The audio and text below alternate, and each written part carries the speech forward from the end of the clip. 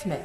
Thank you, Madam Deputy Speaker. I welcome the announcement of the funding model review. It's the responsible thing to do given the changing media landscape that my right honourable friend referenced. But my constituents will raise an eyebrow at the BBC's prices going up this year to deliver less, uh, the BBC having closed the Oxford newsroom uh, and made severe cuts to Three Counties Radio. So will my writable friend lock into this review a mechanism that if the license fee is to remain compulsory for those wishing to have a television, uh, that there has to be a consumer test to properly monitor what viewers actually want to watch and listen to.